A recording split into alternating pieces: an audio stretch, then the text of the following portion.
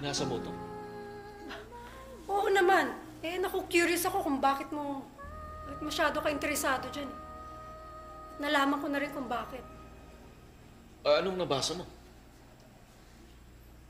Marami. Isa na dun eh. Diyan ko nalaman yung tunay na pagkatao ni Clara. At hindi lang siya. Pati na rin yung mga taong pinagkakatiwalaan. Ano ibig mo sabihin? Alam mo, Amante, mabuti pa. Basahin mo na lang muna yan. Pagkatapos, pag nabasa mo na lahat yan, tsaka tayo mag-usap. At gusto kong linawin mo sa akin kung ano yung mga tinutukoy dyan ni Clara.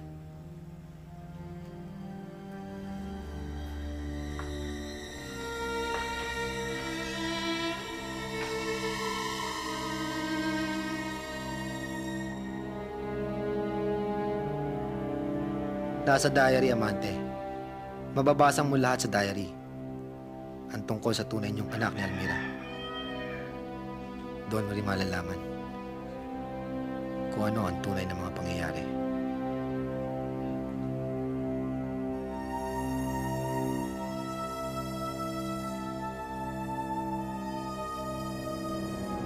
Ayoko naman humantong ang ganito sa lahat, Gary. Ani, ayoko manganib ang buhay mo.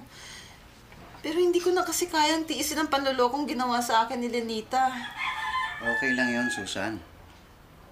Sanay naman ako sa panganib eh. Huwag mo na lang silang patulan, Gary. Umiwas ka na lang, lumayo ka na lang.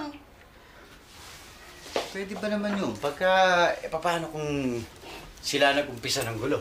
Ano gusto mong gawin ko? Magtatakbo ko? Atras, magtago? Lalaban ako ng sabayan, Susan. Puto na loob, Gary. Huwag mong gagawin yun. Mapapatay ka nila. Oo nga naman pare, hindi naman kaluwagan yung umiwas ka sa panganib habang makakaiwas ka, hindi ba? Susan, alam mo sa pinasok natin to, talagang hindi tayo makakaiwas sa gulo. Wala na tayong magagawa doon. Eh di lumayo na lang tayo dito. Umiwas na lang tayo sa kanila. Lumayo, kahit sa impyerno tayo magtago, Susan. Kung talagang gusto nila tayong guluhin, gusto nila tayong patayin, makikita at makikita rin nila tayo. O bakit pa tayo magtatago? Eh di harapin na lang natin para tapos na kagad. Eh mapapatay ka nila eh. Sinabi ko na yan, Susan. Unahan lang ang laban. Kung sino unang pipikit, hindi natitilat.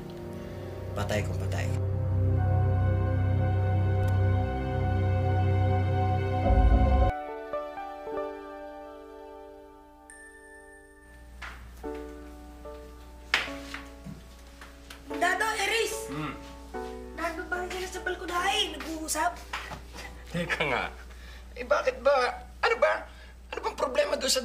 Ni Senyorita Clara? At napapansin ko sa inyo na alalang alala kayo sa pool na makuha yun ni Ma'am Elmira. Eh, wala naman pong problema mong dado. Ang totoo nga ako, hindi rin namin alam kung ano nakasulat doon sa diary. Oh, ay kayo na rin naman ang may sabi na si Senyorita Clara ay nagalit nung makuha ang diary ni mommy niya. Mandado, yun nga ang ipinagtataka namin eh. Dahil kahit si Mara hindi maintindihan yung nakasulat doon. Kasi si Mara ay nakakuha ng kapirasong pahina na mukhang nanggaling doon sa diary ni Clara. Pirasong pahina? Eh, punit na pahina ako mula doon sa diary. Tsaka kaya rin mo kami interesado doon sa diary. Dahil nabasa po namin doon sa punit na pahina na si Mara daw ay isang Del Valle. Ano? si Mara? Isang Del Valle? Yun ang nakasulat. Nakakasiguro namang galing talaga yun sa diary ni Senyorita Clara. Eh, kaya nga ako gusto rin namin makita at mabasa yung diary para tiyakin. Sige, okay. Kung nanggaling man yun sa diary ni Senyorita Clara, paano naging Del Valle si Mara? Nako, tigilan nyo na yung mga kalukuhan yung dalawa. Ituloy na natin ang paglilinis. Maganda pa yun.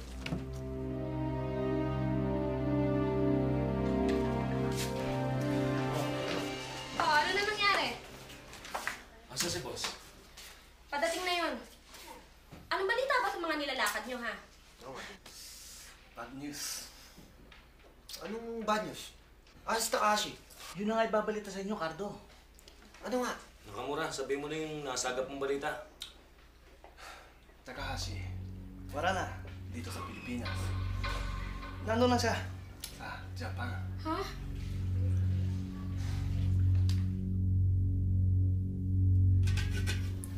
Mario, uminom ka muna ng tubig para magluwag ang dibdib mo. Mario, huwag mo masyadong iisipin yung sinabi ni paring Gary. Malay mo makagawa pa siya ng ibang paraan. Tsaka hindi naman ibig sabihin na kapag meron siyang hawak na baril, eh, maghahamon na siya ng away. Oo nga naman ho, Aling Susan. Pag self-defense lang yun ni Manggari. Saka syempre, pag may kalaban at nakita niyang may baril, tatakbo yung kalaban. Pag may masamang nangyari, si Lenita ang sisisihin ko. Napakawalang hiya niya. Wala siyang pakialam sa kanyang kapwa. Magawa lang niya ang gusto niya. Siya ang mapapatay ko. eh. Ano ba naman buhay to? Wala na bang katapusan tong mga problemang to? Maring Susan, saan ka pupunta, Mare?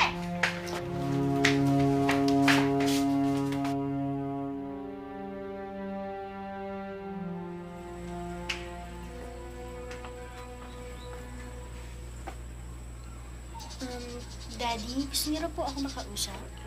Oo. Oh, tungkol dito sa diary. Nabasa na ito ng mami mo. Kanino ba talaga itong diary na to? Sa akin nga ho. Pero ibang pangalan nakasulat dito. Daddy, hindi ba nasabi ko na naman sa inyo nun kung bakit, kung bakit ganun nakasulat siya? Nagsasabi ka ba talaga ng totoo? Dad, ano naman ang dahilan para magsinungaling ako? Tsaka teka, nabasa niyo na ho bang nakasulat siya sa diary? Nabasa ko na. At gusto kong linawin mo sa akin kung ano ibig mo sabihin sa mga nakasulat dito.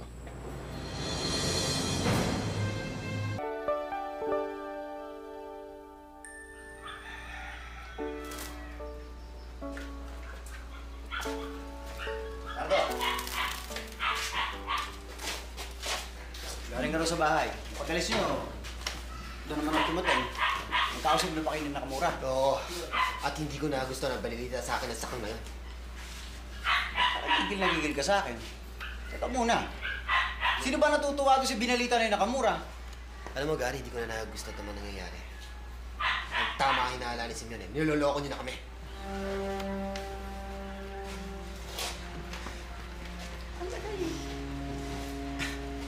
Kami pala ay pinag-iisipan mo na hindi maganda. Na lahat ng ito ay palabas lang. Walang katotohanan, ganon. Eh, Sino naman ang hindi magdududa sa inyo, ha? Nakunin mo ang pera. Hindi mo ako sinama. Hindi mo lang pinakilala sa akin si Takashi. At ngayon, asa yung tao, ha? Nawawala yung tao na may hawak ng kwarta natin. Ngayon, sabihin mo sa akin, ha? Hindi ba ako dapat magduda? Hindi. Hindi, Carto. Pero ito tatapatin kita. Wala akong kinalaman sa mga nangyayari dito. Patutunayan ko sa iyo yan, Carto. Kukunin ko yung Takahashi niyan. Personal ko ipakikilala sa'yo. Buhay man o walang ulo, kung gusto mo.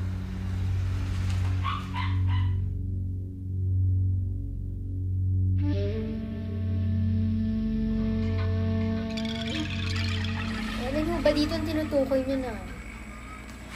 Sinasabi niyo dyan. Lahat ng mga tinutukoy mo riyan, lalo na yung mga hinanakit mo sa akin. Ano ba nang nabasa ng mami mo yan? Lalong sumama ang loob niya sa akin. Eh, dati hindi ho ba? Hindi naman totoo yung mga nakasulat dito eh. Ano lang, kunwari lang, yung kwento ko dito. Lala, hindi ko pwedeng sabihin sa mami mo yan. Lalo na't alam niya na marami tayong hindi pagkakaunawaan. Lalo na yung tungkol sa mga bagay na pagbibigay niya sa gusto mo. I'm sorry ho. I'm sorry kung pati yung naisulat ko dito. Eh kasi naman daddy, ang totoo niyan, hindi ko naman talaga gusto makita pa at mabasa ng mami eh. Siya lang naman tumapilit eh. Pero dahil sa nangyari na nga, huwag ko kayo magalat. Kakausapin ko siya para magpaliwanag ako. Clara, Habang maaari sana, iwasan natin ang hindi pagkakaroon ng pagkakaunawaan. Ha? Gusto mo bang lumala ang pag-aaway namin ng mami mo? Gusto mo ba yon?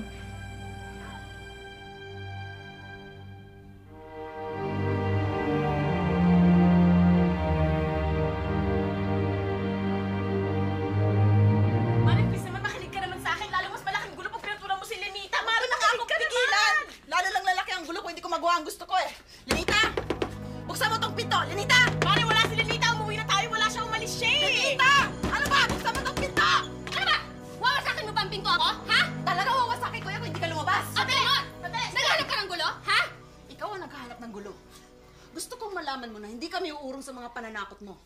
At higit sa lahat, hindi mo maaaring agawin sa akin ang asawa ko! Mare, Mare. Tungkol sa papeles na to, ha? Hindi ko to kinatatakutan. Eto! Ah! Langunin mo! Walang niya ka! Luka-luka! Mamatay ka na sana! Luka na!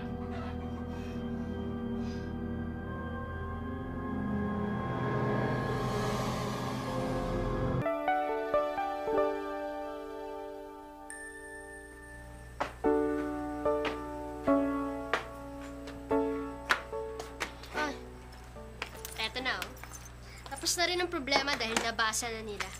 Oh, ano sinabi nila? Wala naman, maliban lang dun sa medyo nagtampuro sa akin si Daddy dahil sa mga nabasa niya dito.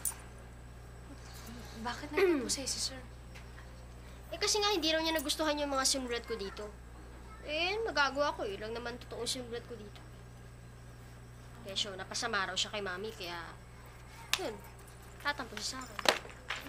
Ano ba kasi nakasulat dyan? Sinasabi ko na nga. Alam mo, Mara, kahit na hindi ka magsalita, alam ko naman na isa ka sa mga interesadong mabasa yung nilalaman ng diary na to, di ba? Totoo? Kasi feeling mo, meron kang mababasa dito tungkol sa'yo. Ganun ba? Well, okay. Pagbibigyan kita. Ayan. Hmm. Basahin mo para masiyahan ka.